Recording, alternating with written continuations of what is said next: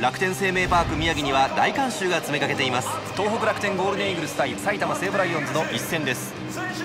解説は西俊久さん里崎智也さんのお二人。実況は三橋大輔でお伝えしていきます。お二人どうぞよろしくお願いします。よろしくお願いします。西さんまもなく試合が始まるわけですが序盤に大事なことは何でしょうか、まあ、まずは先に点が欲しいですよね。そして優位に試合を運びたい。そういうところですよね。さあ先制点はどちらのチームに入るんでしょうか？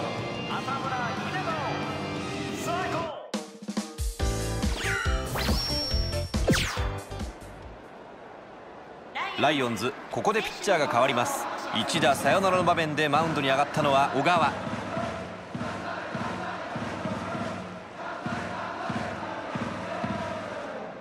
さあそしてバッターボックスにはウィーラーが入っています。さあなおもチャンスで満塁の局面。まあ決めればサヨナラですからね。このしっかり捉えた。これは大きい。ポール際切れました。入っていればサヨナラでした。いい当たりこれは大きな打球。ワンバウンドヒットになった。ボールは中継。帰った帰った。サヨナラ鮮やかなバッティングでした。この人のタイムリーで。見事なサヨナラ勝ちです。打ったバッターはもみくちゃ。楽天イーグルスがなんと劇的なサヨナラで勝利しました。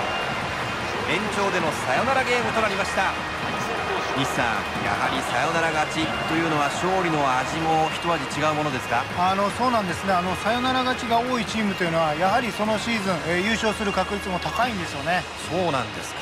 やはり乗っていけるんでしょうね。勝ったイーグルスサヨナラ勝ちという劇的な勝利をものにしました。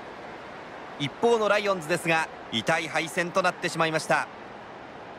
ご覧のように今日のゲームはイーグルスが見事勝利を収めています今日の解説は西俊久さん里崎智也さんのお二人でした。どうもありがとうございました。ありがとうございました。この辺りで楽天生命パーク宮城から失礼します。